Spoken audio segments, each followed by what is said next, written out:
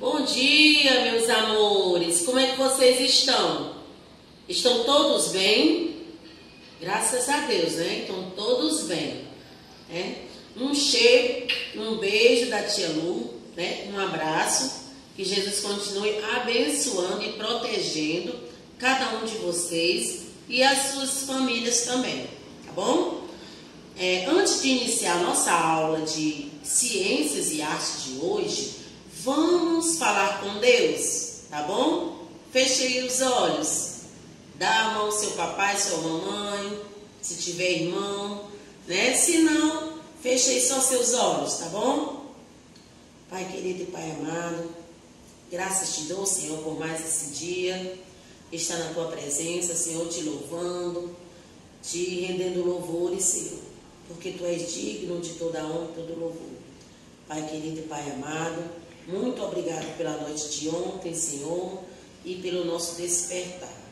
Continua, Senhor, nos abençoando e nos guardando, Senhor, nos livrando de todo o mal, de todas essas crises de, de epidemia, Senhor, de pandemia, Senhor.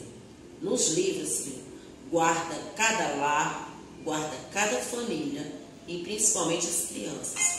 Eu te peço, meu Deus, em nome de Jesus, abençoa cada lar e cada criança representado pelo Colégio CDPA.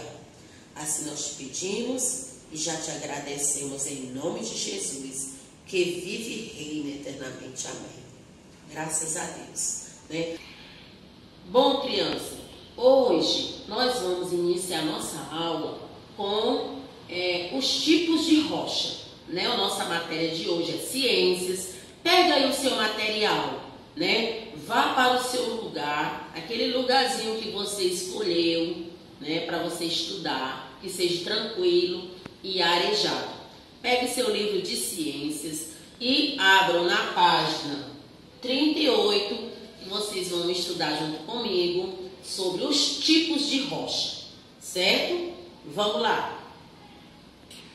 Bom, pessoal, né? Por todo o planeta existem diferentes tipos de rocha, né? Pedras que variam em forma, tamanho e composição.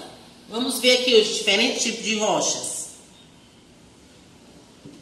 Olha como eles têm diferentes tipos, né? Ó, tamanhos, diferentes tamanhos, né? Ó, que são diferentes tipos de rochas, pedras, né? Que compõem o nosso planeta. Tá bom, criançada? chamado de granito. Elas compõem e dão forma à terra, além de serem usadas pelo ser humano de diversas maneiras. As rochas são constituídas por um agregado, né? São juntas, são ligadas de minerais e o critério mais utilizado para classificá-las é o seu processo de formação. Dessa forma, né, podemos classificá-las em três principais grupos. Nós temos é, as sedimentares, as metamórficas e magmáticas. As rochas magmáticas, também chamadas de ígneas, formadas pelo refriamento, pelo resfriamento do magma. Quando expelido, né, jogado para fora, o magma chega à superfície através de falhas na terra ou vulcanismo. Sofre resfriamento e acaba endurecendo formando esse tipo de rocha. Exemplos: as rochas magmáticas ou ígneas, né, como são conhecidas também de ígneas, ígneas. O basalto, né? Nós temos exemplo aí de, de magmáticas, né? O basalto, o granito, após ser polido, o granito é usado na confecção de pisos de pisos, né, pias e lavatórios. O basalto usado para fazer o calçamento né, de ruas. É, também temos rochas sedimentares. Elas são originadas com o passar do tempo através do acúmulo de materiais que foram é, corroídas, desgastadas pela ação da chuva, do vento, do sol, etc. Né? Esses fragmentos é, de outras pedras é, depositam-se em depressões na crosta terrestre e seu acúmulo forma as rochas sedimentares. Exemplo, é o arenito, que dão origem à areia, o calcário, formado por seres é, aquáticos, é, carapaças, né, de animais aquáticos mortos, né, degradados, formando esse calcário. E temos também o argilito, que dá origem à argila, né? Essas rochas são usadas na fabricação de telhas, né, ó, telhas, né, para construir as casas, né, cobrir as casas, as telhas, é, tijolos, artigos e peças de arte, como vasos de cerâmicas e porcelanas. Vai ver que até na sua casa tem, né, algum tipo de, de é, material de artes, né, usado com esse material, né, argilito, né. É, também as porcelanas. E temos também as rochas metamórficas. É, essas, essas rochas metamórficas, né, vem do nome metamorfose, que significa transformação, mudança, para chegar no que ela é hoje. Mas isso demora muito tempo, né, esse tipo de transformação. Não é assim de um tempo para o outro, não, sabe? São anos e anos e anos para ela se transformar. Pode ser uma rocha magmática que se transformou ou sedimentar que se transformou. Como ocorreu essa transformação? No interior da Terra, devido à alta pressão, alta temperatura e a pressão, forma-se então a rocha metamórfica. É o resultado de pressão e muito calor. São exemplos de rochas metamórficas, o quartzito, né, a ardósia e o mármore, né? O mármore é usado na confecção de pisos, né? É, de escadarias, também é usado em pias, mesas, e outros tipos de artes. Criança, na página 39, né? Na página 39 do seu livro de ciências, tem o ciclo, né, das rochas. Vejam aí, na página 39. As rochas fazem parte de um ciclo contínuo e de acordo com as condições a que são é, submetidas é, vão se transformando ao longo do tempo em outra, em outros tipos de rocha. Esse processo leva milhões de anos para acontecer. Ao sofrer uma erosão, os sedimentos das rochas metamórficas e ígneas vão se acumular e originar as rochas sedimentares, quando as rochas sedimentares e ígneas são soterradas para camadas mais profundas da crosta terrestre, elas acabam sofrendo transformações por causar, é, por causa do aumento da pressão e da temperatura, originando-se assim as rochas é, metamórficas. As rochas metamórficas, por sua vez, acabam se, é, se fundindo ao magma, que em algum momento é, solidifica-se e torna-se rocha ígnea, dando início ao ciclo novamente, né? Se liga aí na revisão, criançada. Existem três tipos de rochas: as ígneas ou magmáticas, né? Como são conhecidas, magmáticas de ígneas, né? As rochas metamórficas e rochas sedimentares. As rochas magmáticas são aquelas que se originam a partir da solidificação do magma ou da lava vulcânica. Já as rochas metamórficas, elas surgem a partir de outros tipos de rochas é, previamente existentes. São as chamadas de rochas mãe, porque elas já existiram. É, a terceira são as rochas sedimentares.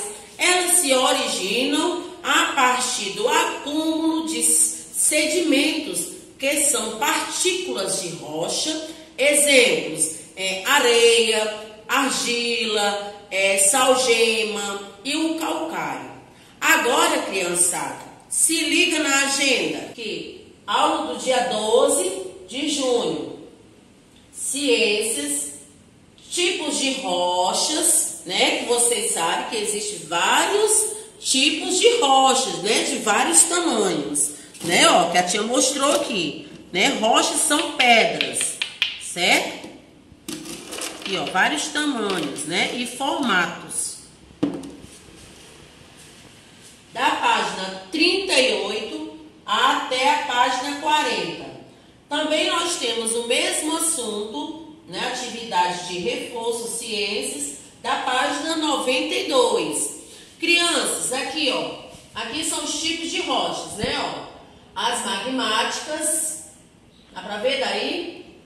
Aqui temos as sedimentares e temos as metamórficas, né? Se vocês tiverem curiosidades, né, coloque aí no Google, né, e coloque os tipos de rochas para vocês verem, né, como elas são formadas direitinho o, a, a imagem delas, tá bom? Olá, meus amores, né? Hoje nós vamos ter uma aula diferente de artes, né? né? Nós vamos viajar pela nossa imaginação, né? E vamos para a nossa aula de arte, que hoje será diferente. Em vez de usarmos o livro de arte, hoje é, nós vamos conhecer a história de uma garota, assim como vocês, da mesma idade, certo? É, que queria ir para a escola. Através da arte, mudou sua vida. A história se passa é, no alto das montanhas de um país chamado Paquistão. Agora, crianças, eu vou resumir a história de Malala para vocês, tá bom? Ouça com atenção. Meus amores, essa história da Malala se passa no alto da montanha do Paquistão, onde a estrada encontra a nascente do rio e o ar é mais fresco. Fica a cidade de Mingora, Mingora a maior do vale do Swat. Foi lá que uma menina chamada Malala nasceu, em um casebre, na frente da escola é, Kussuá, do professor e o Zafari, que também era seu pai. Malala cresceu entre as carteiras antigas da escola e aprendeu a amar os livros desde pequena, antes mesmo de aprender a ler e escrever. Assistia às aulas escondida entre as alunas maiores. Olha aí, tanto era o desejo dela de aprender a lei, de estar na escola, né, criança? Por isso, quando chegou a vez dela, Malala foi a mais sabida, a mais valente e a mais falante da escola. Desde pequena, discursava como gente grande. E o que fazia Malala sem ser tão especial? O querer saber Horas, às vezes ela perguntava às pessoas, outras vezes ela procurava nos livros, mas não ficava sem a resposta. Um dia, quando Malala estava com 10 anos, alguns homens que viviam nas montanhas, chamados de talibãs, é, tomaram conta do vale de Swat. Eles proibiram as pessoas de fazer muitas coisas. Entre elas, proibiram as meninas de estudar.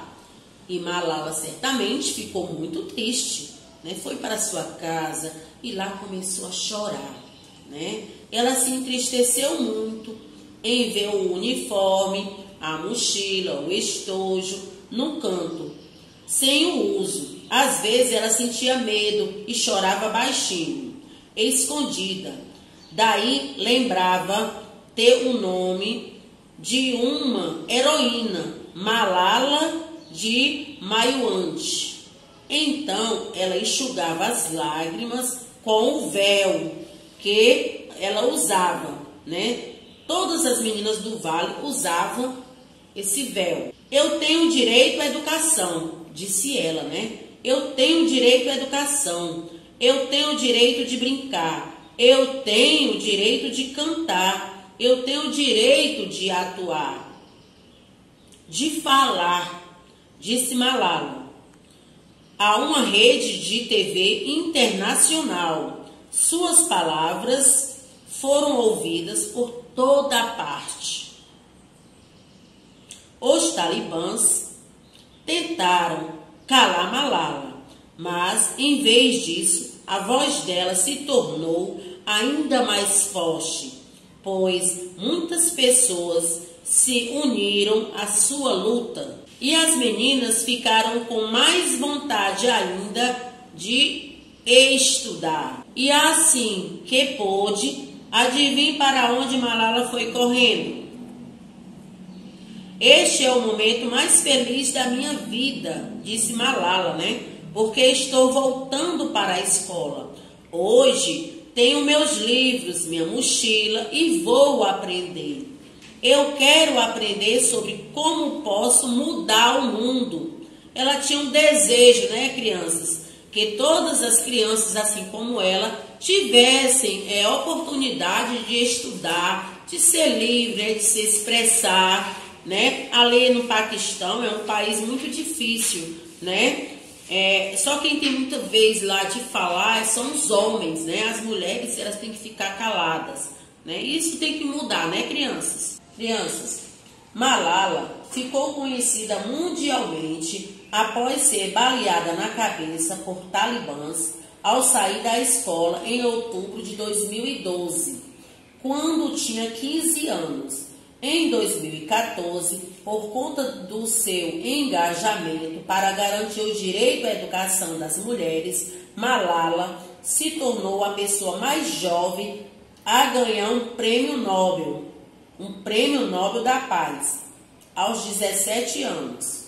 Crianças, comparando né, este momento agora de pandemia, né, que vocês não estão podendo vir para a escola, né, mas estão assistindo às aulas em casa. Não é diferente com a situação de Malala lá no Paquistão, que ela não, ela foi proibida de ir para a escola, né? Ela não foi por causa de nenhuma doença, ela foi proibida pelos talibãs, né, de irem de ir para a escola. E vocês estão proibidos de vir para a escola devido a pandemia, né? Que já já vai passar, mas é, vocês estão assistindo às aulas em casa.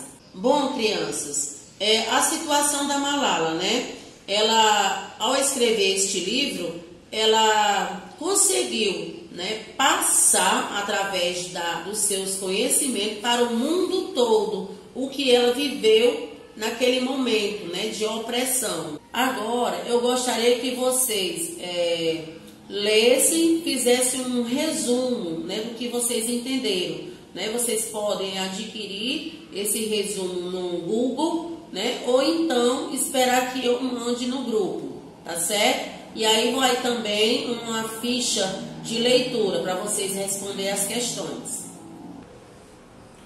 Agora, crianças, é, fique com Deus. Né? Espero que vocês tenham gostado da história que a tia contou para vocês da malária, né? A criança que queria ir para a escola, né? E ela foi proibida, né? Aqui é o título do texto, ó, que vocês podem pesquisar no Google, né? E vai mais tarde vai uma ficha de leitura, né? No grupo para vocês preencherem, tá bom? Agora fique com Deus. Um bom bom final de semana. Que Jesus continue abençoando vocês e as suas famílias, tá bom? E se for sair de casa, não esqueça de levar o álcool em gel, certo? E a máscara. Se protejam, tá bom? Segunda-feira nós estamos aqui, firmes e fortes. Em nome de Jesus. Bye!